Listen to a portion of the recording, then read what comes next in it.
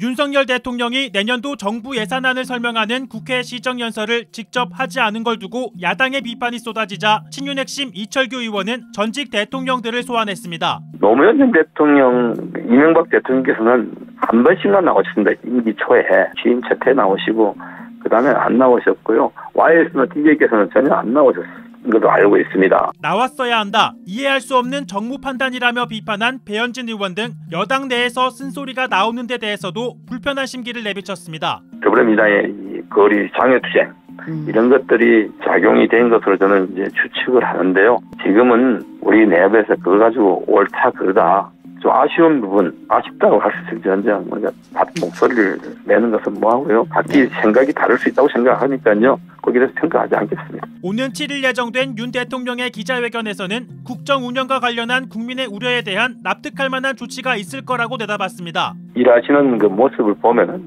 눈이 올 때 빗자루를 쓰는, 쓰시는 스타일이 아니라 예. 한꺼번에 장비로 제설하듯이 이렇게 열단이 내려지면은 거침없이 나서게 처리하시는 스타일이시니까 국민들께 납득하시고 또 국민들께서 충분히 이해하실 만한 조치가 있으시라 생각합니다. 당연히 명태균 녹취록이 지금 국민들께서 이 사실 여부와 관계없이 궁금해하시는 부분이잖아요. 우려하시는 네. 부분도 있고요. 다만 한동훈 대표가 요구한 인적 쇄신에 대해서는 필요에 따른 것이지 국면 전환용 인사는 없어야 한다고 강조했습니다. 이 일을 더 잘하기 위한 변화, 인적 교체는 몰라도 단순히 국면을 전환하기 위해 사람을 바꾸는 것은 우리가 이제는 지향해야 할 점이 아닌가 생각이 듭니다.